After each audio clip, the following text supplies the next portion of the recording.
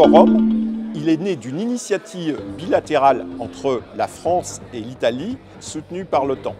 Il y a une initiative qui s'appelle le Wargaming audacieux, Audacious Wargaming, pour préparer les conflits de demain et favoriser l'échange entre les 30 nations membres de l'OTAN.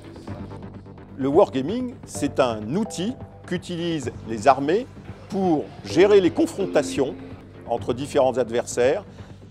On utilise le jeu pour permettre la créativité à travers la confrontation des différents euh, acteurs. Et donc ça, on l'utilise soit pour euh, former les jeunes officiers, soit pour réfléchir à des nouvelles façons de faire la guerre, soit euh, pour des études encore plus complexes.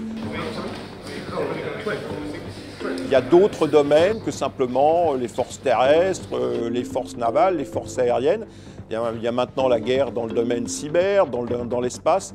Et l'intégration de tout ça, ça suppose qu'on réfléchisse à la confrontation dans ces domaines-là avec des modèles relativement simples qui peuvent être rapidement mis en œuvre. Ça va permettre aux différentes euh, armées de mieux se connaître et de mieux travailler en interarmée.